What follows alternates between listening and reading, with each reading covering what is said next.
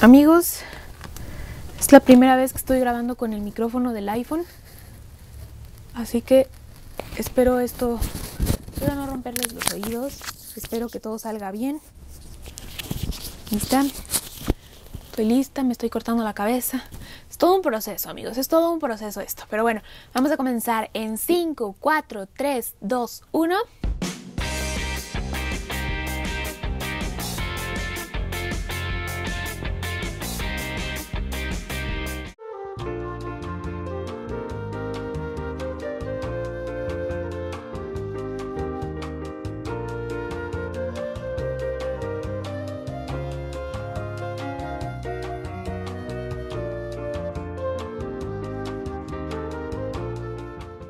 Amigos, ¿cómo están? Yo soy Diana Craules, licenciada en Ciencias de la Comunicación y actualmente estudiante de nutrición.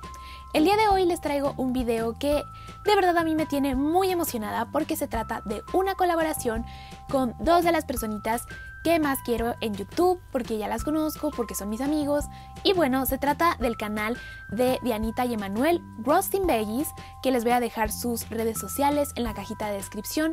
Si es que aún no los siguen, que de verdad tienen que seguirlos. Son unos chavos increíbles, súper lindos, así que la colaboración es con ellos y prácticamente lo que estamos haciendo es eh, grabando, yo voy a grabar durante 24 horas recetas con aguacate y ellos van a grabar durante 24 horas recetas con eh, elote. Entonces, de verdad espero que estas recetas les gusten muchísimo a ustedes, que saquen ideas pues provechosas y que sí, recuerden que si recrean alguna de las recetas que vean en nuestros videos, puedes etiquetarnos en Instagram para que nosotros pues además de que nos hagas muy feliz, también vayamos y le demos un corazoncito a tu publicación o reaccionemos a tu historia. Yo en lo personal creo que es la red social en la que más estoy activa, así que te invito también a que me sigas por ahí y obviamente si es la primera vez que ves uno de mis videos, te invito a que te suscribas, que actives la campanita de notificaciones para que te avise YouTube cada vez que subo un nuevo video. Y ahora sí, sin nada más que decir, vamos a comenzar con estas recetas hechas con aguacate. Y el desayuno es uno de mis básicos favoritos porque la verdad es que esto es bastante saciante y lo podemos hacer en 5 minutos. Para hacerlo vamos a necesitar dos rebanadas de pan o las que tú quieras y vamos a untarle un poquito de guacamole. Este guacamole de verdad está súper rico. La receta completa se las voy a dejar en la cajita de descripción, aunque de todas maneras les voy a decir lo que tiene. Únicamente lleva cuatro ingredientes y lo que vamos a hacer es ponerlos todos en la licuadora. Obviamente vamos a utilizar aguacate, un poquito de chile serrano, un poquitito de sal y jugo de limón. Les prometo que este guacamole está súper súper rico y por encima le podemos poner cualquier grano o legumbre que tú quieras. A mí por ejemplo me encanta acompañarlo con garbanzos porque además de ser una proteína completa, siento que se lleva muy bien con el aguacate. Y listo, ya tenemos nuestro desayuno de 5 minutos. Ese día después de regresar de la universidad, decidí prepararme unas enchiladas. Y aquí les va la receta. Para el relleno vamos a necesitar una calabacita y aproximadamente tres zanahorias pequeñas. Como pueden ver las vamos a pelar y las vamos a cortar de esta manera para que queden capas delgadas. Esta receta es perfecta si a ti se te dificulta comer vegetales o simplemente no te gustan. Te prometo que esta receta te va a gustar. Vamos a sazonar este asunto y aquí yo agregué aproximadamente 5 cucharitas de vinagre, una cucharadita de hierbas a la italiana. Recuerden que las especias específicas se las dejo igual en la cajita de descripción y un poquitito de sal. Todo esto lo vamos a revolver y vamos a dejarlo macerando en un topper mientras preparamos el resto de nuestros ingredientes. Para nuestra salsa de enchiladas vamos a utilizar aguacate. También utilizaremos un cuarto bloque de tofu, un chorrito de limón y un poquitito de sal. Vamos a revolver esto súper bien en la licuadora y ahora en un plato aparte vamos a colocar tres tortillas o las enchiladas que te vayas a comer. Yo estoy utilizando como siempre las de la marca Susalia porque saben que son mis favoritas. para este momento nuestra calabacita y nuestra zanahoria va a estar lo suficientemente macerada y ahora ya la podemos poner dentro de nuestras enchiladas. Para sumarle a este platillo un poquito más de proteína y darle saciedad a este asunto, también decidí agregar aproximadamente media taza de frijoles negros. Vamos a acomodar nuestras enchiladas de esta manera y ya por encima le vamos a poner nuestra salsa.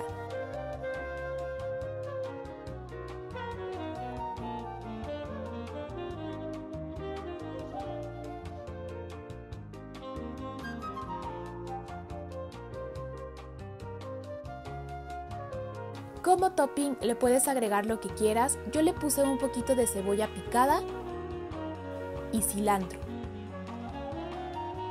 Y listo, de verdad que esta receta tienen que recrearla, está súper rica y definitivamente fue la que más me sorprendió. Nunca había yo macerado las verduras de esta manera y creo que le da un toque delicioso junto con la salsa hecha con aguacate y tofu no sé, simplemente fue mi platillo favorito de este día. Como postre decidí hacer un helado que yo ya había visto un montón de veces en Instagram, en el que la base es aguacate, entonces quedaba súper bien para este día. Y lo que hice fue poner en una licuadora aproximadamente tres plátanos medianos congelados, un aguacate mediano y un chorrito de agua. Te recomiendo que si tienes una licuadora como la mía, que no es tan potente, el agua se la pongas hasta abajo para que justamente ayude a tu licuadora con este proceso. Ya que tenemos esta consistencia, vamos a pasarlo a un recipiente y lo vamos a meter al congelador por aproximadamente 10 o 15 minutos. No necesitamos que se congele demasiado, solamente que se haga un poquito más duro para que podamos hacer nuestras bolitas típicas de helado. Para este momento yo ya estaba muy emocionada porque quería probar cómo había quedado este helado.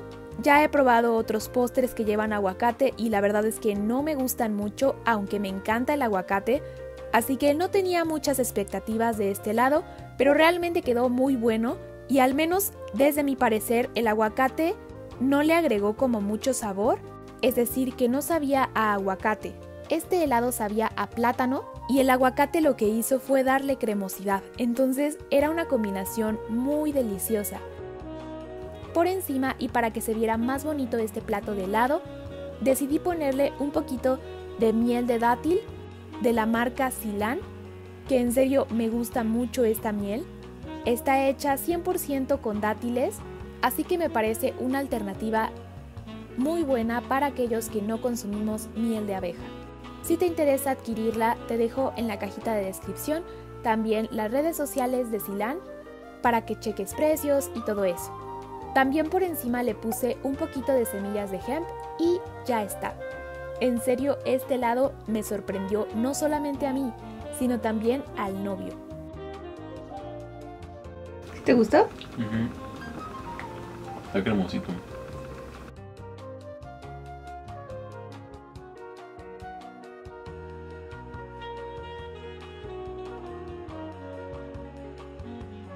Para cenar decidí hacer una de las recetas que ya está en el canal y se trata de una pasta.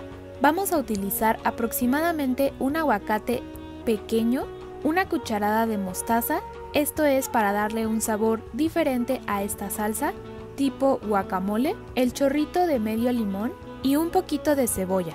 Aparte, en un sartén antiadherente vamos a poner un poquito de champiñones junto con la verdura de tu preferencia. Vamos a dejarlo cociendo durante un ratito. En lo personal no me gusta cocer demasiado los champiñones, pero esto ya es completamente al gusto. Ahora vamos a poner en un plato primero nuestra pasta cocida, únicamente es pasta con sal. Obviamente se trata de una pasta vegana amigos, revisen solamente en los ingredientes que no tenga huevo si es que ustedes, al igual que yo, son veganos. Después agregamos nuestros champiñones, y finalmente nuestra salsa de aguacate. Ahora revolvemos muy bien y ya tenemos esta pasta que está buenísima. Y esto ha sido todo por el video de hoy. Si te gustó, por favor regálame un like. No olvides suscribirte, dejarme en los comentarios cuál de estas recetas fue tu favorita, cuál se te antojó más. Recuerda que si recreas alguna puedes etiquetarme en mis redes sociales para que yo vaya y le dé un corazoncito. También recuerda que te voy a dejar las redes sociales de Dianita y Emanuel aquí en la cajita de descripción para que vayas y los sigas. Y ahora sí, yo me despido amigos, los quiero un montón y nosotros nos vemos la próxima semana. Bye.